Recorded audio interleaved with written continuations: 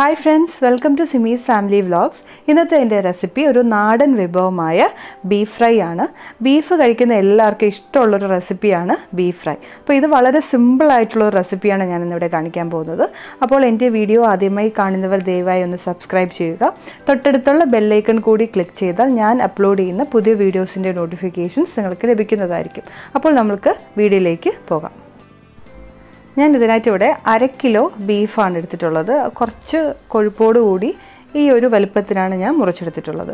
ഇത് വാരിയൽ ഭാഗമാണ്. എപ്പോഴും ബീഫ് വാങ്ങുമ്പോൾ തൊട ഭാഗത്തിനേക്കാളും വാരിയൽ ഭാഗം വാങ്ങിക്കുകയാണെങ്കിൽ നല്ല സോഫ്റ്റും ആയിരിക്കും. കറിക്കായാലും ഫ്രൈക്കായാലും നല്ല ടേസ്റ്റ് ആ വാരിയൽ ആ റിബ്സിന്റെ ഭാഗമാണ്. അപ്പോൾ ഞാൻ അതിപ്പോൾ ഒരു കുക്കറിലേക്ക് ഇട്ട് കൊടുത്തിട്ടുണ്ട്.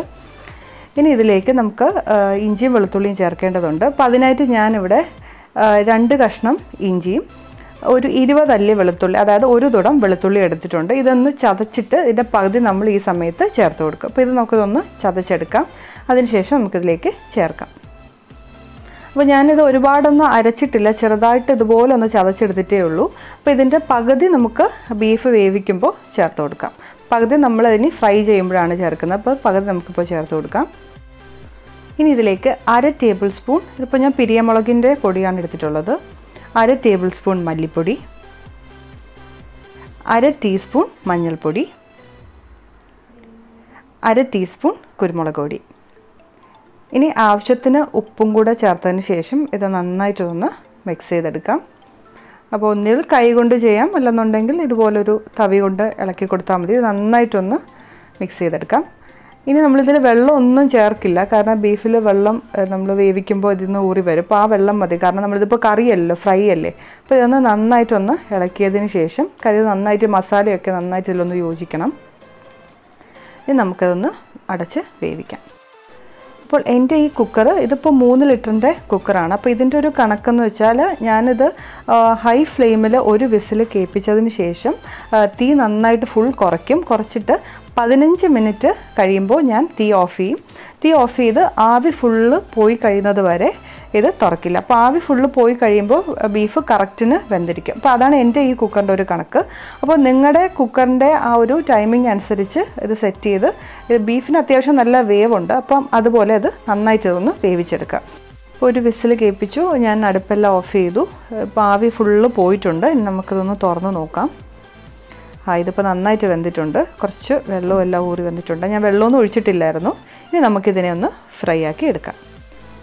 അതിനായിട്ട് ഞാനിവിടെ ഒരു നോൺ സ്റ്റിക്ക് പാൻ അടുപ്പത്ത് വെച്ചിട്ടുണ്ട്. അതിലൊരു രണ്ട് മുതൽ മൂന്ന് ടേബിൾ സ്പൂൺ വരെ വെളിച്ചെണ്ണ ചേർക്കാം. അപ്പോൾ ബീഫ് ഫ്രൈ ഒക്കെ ഉണ്ടാക്കുമ്പോൾ റിഫൈൻഡ് ഓയിലിനേക്കാളും ടേസ്റ്റ് വെളിച്ചെണ്ണയാണ്. ഇനി നമുക്കിതിൽ കുറച്ച് ഹോൾ സ്പൈസസ് ചേർക്കാനുണ്ട്. അതിൽ ഒരു ഏലക്ക ഒരു മൂന്ന് ഗ്രാമ്പു പിന്നെ ഒരു വലിയ കഷ്ണം പട്ട. അപ്പം അതും കൂടി നമുക്ക് ഈ എണ്ണയിലേക്ക് ചേർത്ത് കൊടുക്കാം. ഇനി അര ടീസ്പൂൺ പെരിഞ്ജീരകം അതായത് കറിമസാലയുള്ള ജീരകമാണ്. ഇതിപ്പോൾ ഞാനൊരു ചെറിയ തേങ്ങയുടെ ഒരു മുറിയുടെ പകുതിയാണ് അതായത് കാൽ മുറി തേങ്ങ. അത് ഇതുപോലെ നീളത്തിന് നൈസിന് അരിഞ്ഞതാണ്. അപ്പോൾ നല്ല ടേസ്റ്റ് ആയിരിക്കും ഇത്. നമ്മുടെ ബീഫ് ഫ്രൈയിൽ ഈ തേങ്ങാക്കൊത്തും കൂടെ കടിക്കുമ്പോൾ നല്ലൊരു ടേസ്റ്റാണ് ഇനി ഇത് നന്നായിട്ട് ഇതൊന്ന് ഫ്രൈ ആക്കി എടുക്കാം. അപ്പോൾ ഈ ഹോൾ സ്പൈസസ് അതായത് ഈ പട്ട ഗ്രാമ്പു ഏലക്ക ഈ ഫസ്റ്റ് ചേർക്കുന്നത് ഒഴിവാക്കരുത്. ഇതാണ് ഈ ബീഫ് ഫ്രൈയുടെ മെയിൻ ഫ്ലേവറും ടേസ്റ്റ് എന്ന് പറയുന്നത്. അപ്പോൾ ഇത് നന്നായിട്ടൊന്ന് ബ്രൗൺ കളറായി വരുന്നത് വരെ നമുക്കിതൊന്ന് ഫ്രൈ ആക്കി എടുക്കാം. ഇതിപ്പോൾ തേങ്ങാക്കൊത്തൊക്കെ നന്നായിട്ട് മൂത്ത് വന്നിട്ടുണ്ട്. ഇനി നമുക്കിതിലേക്ക് സവോള. സവോള ഇതിപ്പോൾ ഞാൻ രണ്ട് ചെറിയ സവോളയാണ് എടുത്തിട്ടുള്ളത്.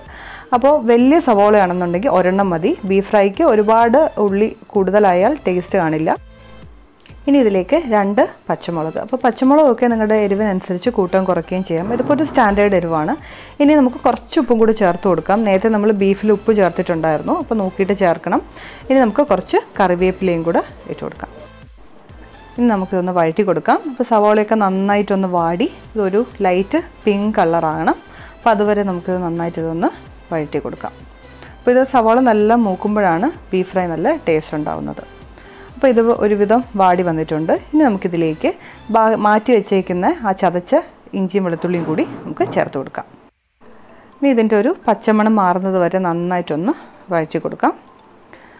ഇനി ഇതിലേക്ക് അര ടേബിൾ സ്പൂൺ മുളക് പൊടി. അപ്പം നേരത്തെ നമ്മൾ അര ടേബിൾ സ്പൂൺ ചേർത്തിട്ടുണ്ടായിരുന്നു. അപ്പോൾ മൊത്തം ഒരു ടേബിൾ സ്പൂണാണ് അതിന്റെ ഒരു പച്ചമണം മാറുന്നത് വരെ നന്നായിട്ടൊന്ന് വഴറ്റി കൊടുക്കാം. അപ്പോൾ ഇതിപ്പോൾ ഒരുവിധം മൂത്ത് വന്നിട്ടുണ്ട്. മുളക് പൊടി നന്നായിട്ട് മൂത്തിട്ടുണ്ട്. ഇനി നമുക്ക് വേവിച്ച് വെച്ചേക്കുന്ന ബീഫ് ചേർക്കാം. ഇതിൽ നമുക്കിനി ഒരു അല്പം വെള്ളം കൂടി ചേർക്കണം. അപ്പോൾ നമുക്ക് ഈ കുക്കറിൽ തന്നെ കുറച്ച് വെള്ളം എടുത്തിട്ട് ചേർക്കാം. അപ്പോൾ അതിലുള്ള ബാക്കിയുള്ള ആ മസാലയൊക്കെ കൂടി ഇതിലേക്കാകും. ഇനി ഇതിലേക്ക് അര ടീസ്പൂൺ കുരുമുളക് പൊടി. അപ്പോൾ നേരത്തെ അര ടീസ്പൂൺ ചേർത്തിട്ടുണ്ടായിരുന്നു. മൊത്തം നമ്മൾ ഒരു ടീസ്പൂൺ ചേർത്തിട്ടുണ്ട്. ഇനി അര ടീസ്പൂൺ ഗരം മസാല. അപ്പോൾ കുരുമുളക് പൊടിയെല്ലാം കുറച്ചും കൂടി വേണമെങ്കിലും ചേർക്കാം. ഒന്നര ടീസ്പൂൺ വരെ ചേർക്കാം. അപ്പോൾ ഓരോരുത്തരുടെ എരിവ് അനുസരിച്ച് ചേർത്ത് കൊടുക്കാം. അപ്പോൾ കുരുമുളക് പൊടി എത്ര ചേർത്താലും നല്ല ടേസ്റ്റ് ആയിരിക്കും. ബീഫ് ഫ്രൈ അപ്പോൾ വെള്ളം കുറവാണെന്ന് തോന്നുകയാണെന്നുണ്ടെങ്കിൽ കുറച്ചും കൂടി ചേർത്ത് കൊടുക്കണം. കാരണം ബീഫും ഈ സവോളയും ഇതിന്റെ മസാലയൊക്കെ നന്നായിട്ടൊന്ന് മിക്സ് ആവണമെന്നുണ്ടെങ്കിൽ കുറച്ച് ഈർപ്പം വേണം.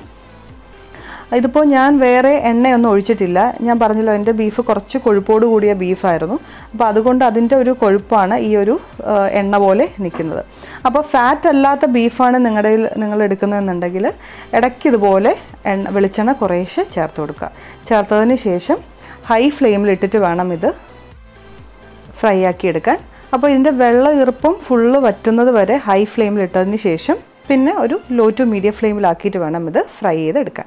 അപ്പോൾ ഒരേപോലെ ഇളക്കിക്കൊണ്ടിരിക്കണ്ട. ഇടയ്ക്കിടയ്ക്കൊന്ന് ഇളക്കി ആ വെള്ളം ഫുള്ള് വറ്റിയതിന് ശേഷം പിന്നെ ഒന്ന് ഫ്ലെയിം ലോ ആക്കി ഇടയ്ക്കിടയ്ക്കൊന്ന് ഇളക്കി കൊടുത്താൽ മതി. അപ്പോഴേ അപ്പോഴത്തേക്കായിരിക്കും നന്നായിട്ടൊന്ന് മൂത്ത് വരുന്നത്. ഇതിപ്പോൾ നന്നായിട്ട് മൂത്ത് റെഡി ആയിട്ടുണ്ട്. ഞാൻ പറഞ്ഞല്ലോ ഇതിപ്പോൾ ഞാൻ എണ്ണയൊന്നും വേറെ ചേർത്തിട്ടില്ല. കാരണം എന്റെ ഇപ്പോൾ ഫാറ്റ് ഉള്ളതായതുകൊണ്ടാണ് ഇതുപോലെ എണ്ണ തെളിഞ്ഞ് നിൽക്കുന്നത്. ഇനി നമുക്ക് ലാസ്റ്റ് കുറച്ച് കറിവേപ്പിലയും കൂടി ഇട്ടിട്ട് കറിവേപ്പില എത്ര ചേർത്താലും നല്ല ടേസ്റ്റാണ് കേട്ടോ. പിന്നെ ബീഫ് ഫ്രൈ ഉണ്ടാക്കുമ്പോൾ എപ്പോഴും ഇതുപോലെ ഒന്നുകിൽ ഒരു നോൺ സ്റ്റിക്ക് പാൻ അല്ലെന്നുണ്ടെങ്കിൽ ഇരി- ഇരുമ്പിലെ ചീനച്ചട്ടിയോ അല്ലെങ്കിൽ ചൂട് കട്ടിയുള്ള ഒരു പാത്രം വേണം എപ്പോഴും എടുക്കാൻ വേണ്ടിയിട്ട്.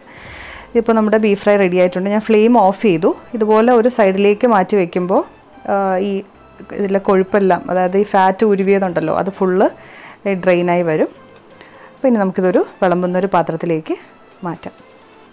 ഇപ്പോൾ എണ്ണയാണ് ചേർക്കുന്നുണ്ടെങ്കിൽ ഇതുപോലെ വരില്ല കേട്ടോ. എണ്ണയാണെന്നുണ്ടെങ്കിൽ ഇത് ഫുള്ള് ഡ്രൈ ആയിട്ട് തന്നെ ഇരിക്കും. ഇതിപ്പോൾ ഫാറ്റാണ് ഇതുപോലെ ഇങ്ങനെ എണ്ണ പോലെ ഇങ്ങനെ തെളിഞ്ഞ് വരുന്നത്. അപ്പോൾ അത് നമുക്ക് വേണ്ട. അതുകൊണ്ടാണ് ഞാൻ അതിങ്ങനെ തെളിച്ച് മാറ്റിയത്. ഇനി നമുക്കിതിൽ നിന്ന് തന്നെ അങ്ങ് മാറ്റിയെടുക്കാം. അതല്ലെന്നുണ്ടെങ്കിൽ വീണ്ടും ഇതിൽ കയറി അങ്ങ് സെറ്റാവും അപ്പോൾ നമുക്കിതുപോലെ ഒരു പാത്രത്തിലേക്ക് മാറ്റി കൊടുക്കാം അങ്ങനെ നമ്മുടെ സ്വാദിഷ്ടമായിട്ടുള്ള ബീഫ് ഫ്രൈ ഇവിടെ റെഡി ആയിട്ടുണ്ട്. ഇത് ശരിക്കും നല്ലൊരു മണവും നല്ല ടേസ്റ്റുമാണ് നമ്മൾ റെസ്റ്റോറന്റിൽ നിന്നൊക്കെ വാങ്ങി കഴിക്കുന്ന അതേ ഒരു ടേസ്റ്റുള്ള ഒരു ബീഫ് ഫ്രൈ ആണ്. അപ്പോൾ ഇതിൽ പ്രധാനമായിട്ടും ശ്രദ്ധിക്കേണ്ടത് ആദ്യം ചേർക്കുന്ന ഹോൾ സ്പൈസസ് ഒന്നും ഒഴിവാക്കരുത്. അതാണ് ഈ ബീഫ് ഫ്രൈയുടെ മെയിൻ ടേസ്റ്റും ഫ്ലേവർ എന്ന് പറയുന്നത്. അത് ചേർക്കാതിരുന്നാൽ ബീഫ് ഫ്രൈ കാണാൻ ഇതുപോലെ തന്നെ ഉണ്ടാവും. പക്ഷേ ആ ടേസ്റ്റ് പക്കയായിട്ട് വരില്ല. അപ്പോൾ നിങ്ങൾ എല്ലാവരും ഈ ഒരു റെസിപ്പി ട്രൈ ചെയ്ത് നോക്കണം. ഇഷ്ടമായിട്ടുണ്ടെങ്കിൽ ലൈക്ക് ചെയ്യാനും ഷെയർ ചെയ്യാനും കമന്റ് ചെയ്യാനും പിന്നെ സബ്സ്ക്രൈബ് ചെയ്യാനും മറക്കരുത്. ഇതുപോലുള്ള നല്ലൊരു റെസിപ്പി ആയിട്ട് വരുന്നവരേക്കും എല്ലാവർക്കും ബൈ